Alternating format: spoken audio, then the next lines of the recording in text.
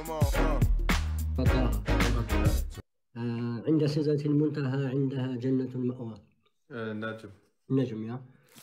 Und Allah subhanahu wa ta'ala sagt, ähm, und da- da ist mir wieder einfach klar geworden, und als ich das dem Bruder gesagt habe, subhanallah, das war sein, das war dieser Turning Point für, uns- für ihn. Und er hat nichts mit der Religion zu tun.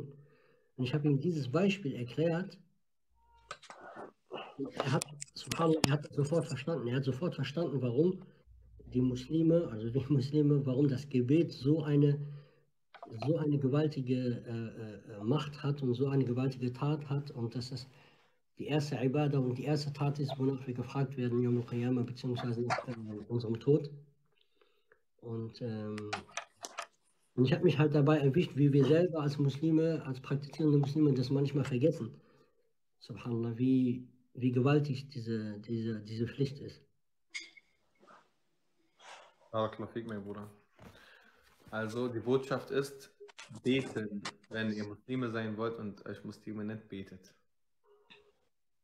Das ist nur eine, man muss erstmal anfangen. Alles ist schwer, subhanallah. Aber wenn man erstmal anfängt, dann packt man das.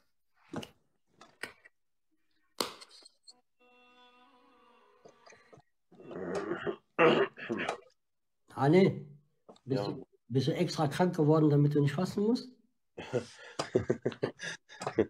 Wallah, ich bete immer, dass ich nicht in Ramadan krank werde, weil ich es liebe zu fasten. Äh, aber nur, Ja. ich hatte jemand gefragt, was ist die Frage, ja. Warte. Äh, frag mal bitte, ob man das, ob man morgens Gebet nachholen kann. Das heißt nachholen. Also, wenn du es verschläfst, wenn du es verschläfst, weil du Wecker gestellt hast und und und, dann, dann kannst du es nachholen. Aber wenn du es nicht bewusst nicht betest und äh, ausschlafen willst und dann um 10 Uhr oder so betest oder um 9 oder um 8, äh, dann, dann ist das Gebet, nee, dann ist weg. Man muss das Gebet in der Salata kanat an al-Mu'minina kitaban mawquta. Bei Allah im Koran. Wahrlich, das Gebet ist für die Gläubigen zu festgesetzten Zeiten und nicht wann du willst.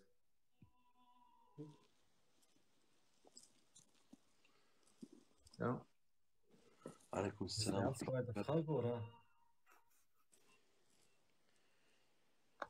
Stell, Bruder. Stellt- Das macht aber gar keinen Sinn, die Frage, weil du sollst ja Ramadan auch nicht küssen oder so. Äh, bricht Lust drauf beim Küssen der Ehefrau das Fasten. Nein. Aber da, darf man denn küssen, oder? Seine eigene Ehefrau, ja, aber nicht mit, mit also, was heißt, man darf, guck mal, man darf, sie, guck mal, theoretisch gesehen, bricht das das Fasten nicht. Also, wenn man auch, alles außer Geschlechtsverkehr bricht das Fasten nicht, okay? Aber man soll gar nicht erst diese, dazu kommen, weil, wenn man anfängt, kann es dazu führen, dass man dann den Akt vollziehen möchte und das ist dann sehr, sehr schlimm in Ramadan. Es bricht das Fasten, auf jeden Fall. Und außerdem, wer will beim Fasten jemanden küssen, hat das schon trockenen Mund und so. Äh, frag mal bitte, ob. Boah, ich will es nicht falsch aussprechen. Äh, Tarawih-Gebete viel machen, äh, ist das gut? Tarawih ist gut, natürlich. Eine sehr schöne Sache. Abi Misalovi. Ja, Munib Abu Nuh, fragt, Yusuf fragt, ist es denn kein Speichelaustausch? Ist überhaupt kein Problem. Leute, euer Ernst? In Ramadan knutschen? Küssen ist nicht knutschen, alle. Aber vom Küssen kriegst du ja keine Lust drauf, oder? Do, äh, doch. Kann man Ja? nicht. Okay. Man, manche kriegen Lust drauf, nur wenn sie jemanden angucken, Bruder. Und Speichelaustausch auch beim Küssen?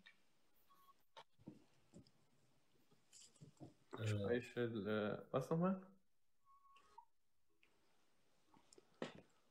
Hab eine Frage. Hau raus. Fragen gerne den Bruder.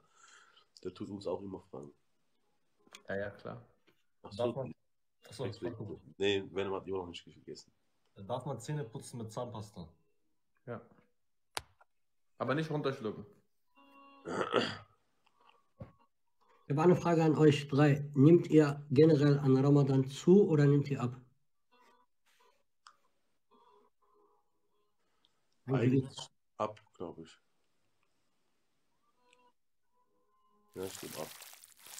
Und ihr? Ich nehme ab.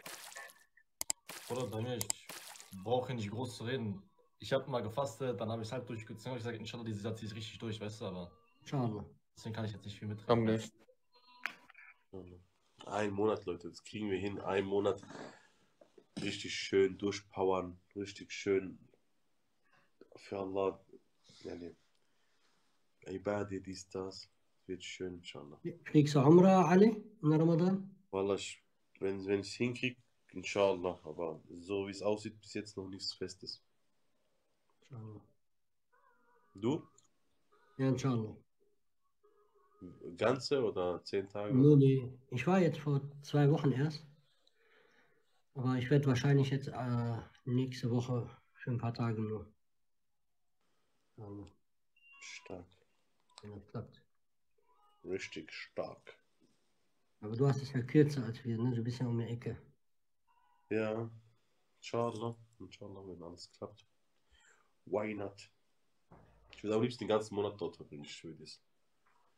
Ja, glaube ich. Glaube ich dir. Wann warst du das letzte Mal da?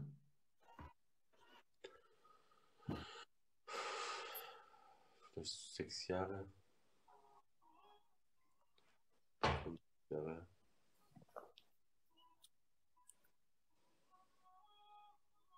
Krass. Das ist wirklich krass. Was ist krass? Subhanallah, ein Bruder hat eine Frage gehabt wegen Venom. Venom ist meine Cobra, ob sie schon gegessen hat. Sie hat aber noch nicht gegessen. Und dann schreibt er gerade, ich habe gerade gegoogelt, die können bis zu zwei Jahre ohne Essen auskommen. Subhanallah. Zwei, Jahr, zwei Jahre durchfasten. Ich habe ihn gestern schon gefragt, Ende, äh, Ende des Jahres, das weiß er noch nicht, wann er Ende des Jahres Umrah ist oder vorgestern. Aber noch, die streiten sich hier gerade bei mir. Bitte. Warte, ich muss kurz hoch. So. Es hat angefangen mit äh, Meinung zu, zu Sophies bestimmt. Also, weiß ich meine, ne? Hm? Sophie hat er geschrieben, ich meine Sophies bestimmt. Dann hat der andere geschrieben, das ist eine Fitna-Frage. Warum? Äh, weil klar ist, dass Sophies nicht auf Aki Akida sind. Dann hat der andere geschrieben, das ist deine Meinung, oder?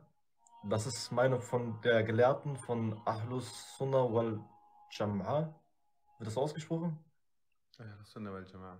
Die heißen nicht umsonst Sufis. Aha, okay. Alle, äh, alle auf Ahlus Sunnah wa- wal Jamal sind auf richtigen Weg und die anderen nicht. Hat der eine gefragt dann. Ja. Da hat der andere geschrieben jetzt zum Schluss, die anderen gehören wie unser Prophet Sallallahu boah, ey, was Salam in den Hadith gesagt hat zu den 72 Sekten. Khair, inshallah, Bruder.